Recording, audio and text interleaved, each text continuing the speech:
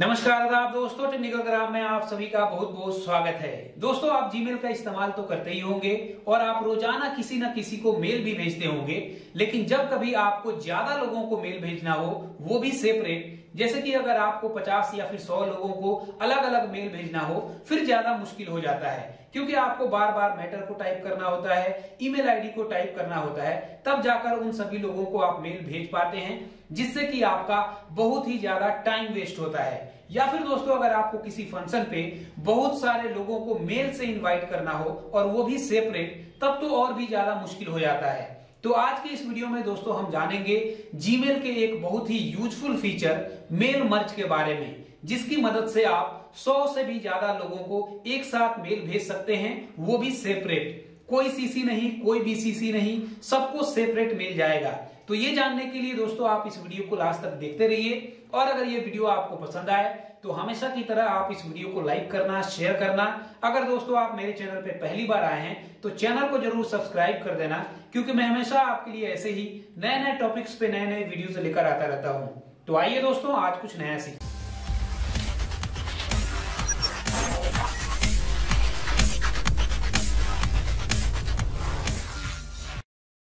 दोस्तों, यहाँ से अब आप इस वीडियो को थोड़ा ध्यान से देखना ठीक है? तो सबसे पहले आपको अपने ब्राउज़र में जीमेल को लॉगिन कर लेना है। जीमेल लॉगिन करने के बाद आपको यहाँ पे ये भी चेक कर लेना है कि आपका जीमेल अपडेटेड होना चाहिए। अगर आप अभी भी जीमेल का ओल्ड वर्जन यूज़ कर रहे हैं तो उसे आपको न्यू वर्जन में अपडेट कर लेना है, ठीक है? तो जीमेल लॉगिन करने के बाद से यहाँ पे दोस्तों, मेल मर्ज करने से पहले आपको एक ड्राफ्ट मेल तैयार करना होगा, तभी आप मेल मर्ज कर पाएँगे।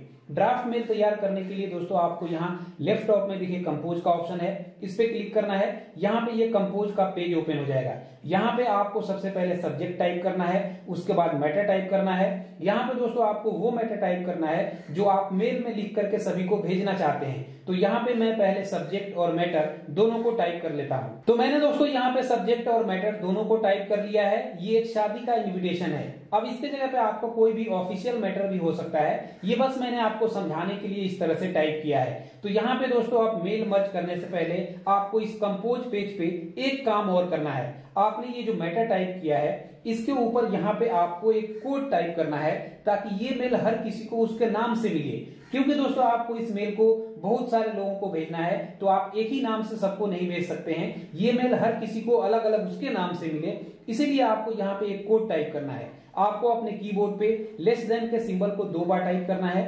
फिर आपको यहाँ पे लिखना है नेम और ग्रेटर देन के सिंबल को दो बार टाइप करना है। ये हो गया सिर्फ़ नेम के लिए। लेकिन अगर दोस्तों आप नेम के साथ सरनेम भी ऐड करना चाहते हैं, जैसे कि नेम हो गया राजेश और सरनेम हो गया कुमार, आप पूरा नाम लिखना चाहते हैं राजेश कुमार तो आप यहाँ पे नेम के बाद स्पेस देंगे और यहाँ पे आप लिखेंगे सरनेम। ये हो जाएगा पूरा नाम के लिए राजेश कुमार। तो ये कोड यहाँ पे टाइप करने के बाद, अब आप यहाँ लेफ़्ट साइड में देखिए, जब ड्राफ्ट पे क्लिक करेंगे तो ये मैटर यहाँ ड्राफ्ट के अंदर आकर सेव हो गया है, शादी समारोह निमंत्रण के सब्जेक्ट के नाम से। अब आपको सिंपल यहाँ पे ये ड्राफ्ट आपका तैयार हो गया, जो आपको हर किसी को भेजना है सिंपल आपको यहाँ से इसको बंद कर देना है। इसको बंद कर देने के बाद से नया टैब ओपन करना है, और यहाँ पे आपको टाइप करना है गूगल डॉक्स और यहाँ इस पे क्लिक करके इसका वेबसाइट आपको यहाँ पे मिल जाएगा। यहाँ पे आपको अपने ब्राउज़र में गूगल डॉक्स को ओपन कर लेना है। यहाँ पे देखिए गूगल डॉक्स ओपन हो गया। यहाँ पे आपको डॉक शीट स्लाइड फॉर्म्स ये सारे मिल जाएँगे। जैसे आपको माइक्रोसॉफ्ट ऑफ़िस के अंदर वर्ड एक्सेल पावर पॉइंट मिलता है। यहाँ पे आपको डॉक शीट और स्लाइड मिलता है, क्योंकि ये गूगल का है, इसलिए यहाँ पे इसका नाम डॉक शीट स्लाइड और फॉर्म्स है।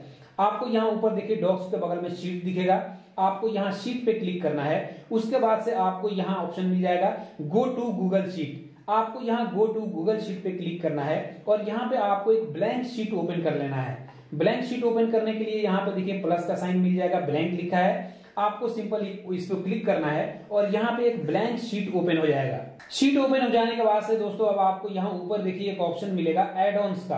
आपको यहाँ एड ऑन्स पे क्लिक करना है। यहाँ आपको ऑप्शन मिलेगा गेट एड ऑन्स इस पे आपको क्लिक करना है और यहाँ पे दोस्तों एड ऑन्स का पेज ओपन हो जाएगा। देखिए, ये पेज ओपन हो गया।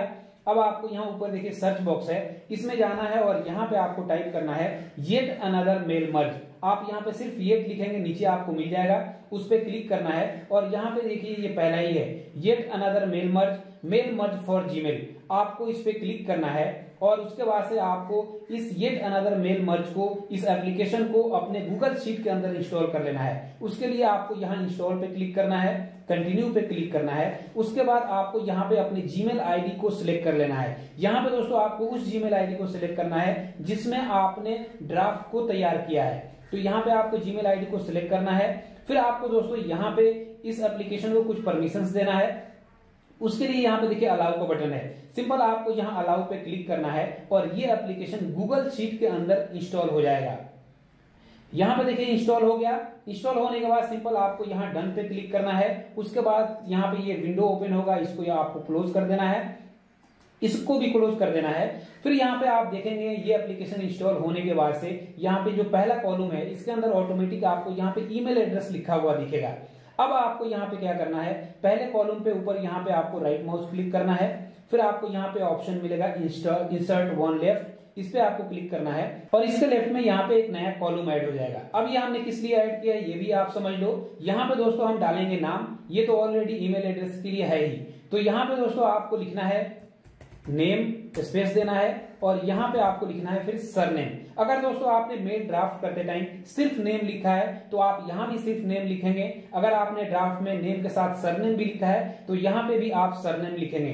और दूसरा चीज़ आपको यहाँ पे ध्यान रखना है कि ये केस सेंसिटिव है। आपने मेल ड्राफ्ट करते टाइम जो कोड आपने डाला था, उसमें जो कैपिटल है, वो कैपिटल रहेगा, यहाँ भी कैपिटल रहेगा, उसमें जो स्मॉल है, यहाँ भी स्मॉल रहेगा। अगर मिसमैच होगा, फिर प्रॉब्लम होगा। तो अब यहाँ पे इस कॉलम के अंदर आपको पूरा नाम टाइप करना है और इसके अंदर आपको पूरा ईमेल एड्रेस जितने भी लोगों को आपको भेजना है, वो सारा ईमेल एड्रेस इस कॉलम में रहेगा। तो यहाँ पे पहले वाले कॉलम में पहले हम नाम डाल देते हैं। तो यहाँ पे दोस्तों मेरे पास कुछ नाम और ईमेल एड्रेस है, यहाँ मेरे पास पाँच है। अब इसके जगह पे आपका पचास सौ, दो सौ, चार सौ भी हो सकता है, लेकिन मेरे पास फ़िलहाल अभी इतना ही है। तो यहाँ पे मैं नाम के कॉलम में वहाँ से कॉपी करके इसको यहाँ पे पेस्ट कर देता हूँ। नाम पेस्ट करने के बाद से अब यहाँ से देखिए मैं पाँच ईमेल आईडी है। इसको भी वहाँ से कॉपी करके यहाँ पे ला करके ईमेल एड्रेस वाले सेक्शन में यहाँ पे कॉलम में इसको मैं यहाँ से पेस्ट कर दिया। फिर आपको यहाँ पे इसको एडजस्ट कर लेना है। इतना करने के बाद आपको वापस यहाँ एडॉन्स पे क्लिक करना है। अब यहाँ पे आपको ये एप्लीकेशन मिलेगा येट अनदर मेल मर्ज इस पे आना है और यहाँ देखिए आपको ऑप्शन मिलेगा स्टार्ट मेल मर्ज इस पे आपको क्लिक कर देना है और यहाँ पे आप नीचे देखेंगे वर्किंग लिखा हुआ है और यहाँ पे ये लोडिंग स्टार्ट हो जाएगा। उसके बाद से दोस्तों आपको यहाँ पे पर्सनल प्लान कुछ लिखा हुआ दिखेगा ये। जब आप इस पे क्लिक करेंगे तो यहाँ पे एक नया टैब में ओपन करेगा ओपन होगा। और यहाँ पे दोस्तों अगर आप ईयरली ट्वेंटी डॉलर पे करते हैं तो आप रोज़ाना 400 मेल भेज सकते हैं। और यहाँ पे देखिए, अगर आप 40 डॉलर पे करते हैं तो आप रोज़ाना 1500 लोगों को मेल भेज सकते हैं। लेकिन अभी हमें इसकी ज़रूरत नहीं है तो इसको बंद कर देना है। सिंपल यहाँ पे देखिए कंटिन्यू का ऑप्शन है। आपको यहाँ कंटिन्यू पे क्लिक करना है, आप इस पेज पे आ जाएँगे। यहाँ पे सेंडर नेम के अंदर आपको यहाँ पे पहले नाम डाल देना है। मैंने यहाँ पे टेक्निकल ग्राम नाम डाला हुआ है।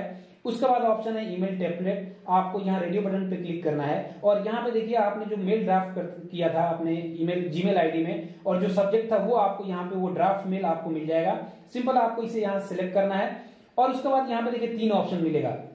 रिसीव अ टेस्ट मेल आप एक मेल भेज करके टेस्ट भी कर सकते हैं। दूसरा है शेड्यूल अगर आप इसको शेड्यूल करना चाहते हैं, किसी स्पेसिफिक टाइम पे आप भेजना चाहते हैं तो आप यहाँ से इसकी शेड्यूलिंग भी कर सकते हैं। और यहाँ पे तीसरा ऑप्शन है सेंड फाइव मेल्स तो हमें इस मेल को अभी तुरंत भेजना है। सिंपल आपको यहाँ सेंड फाइव मेल्स पे क्लिक कर देना है। उसके बाद यहाँ पे ये मेल जाना शुरू हो जाएगा।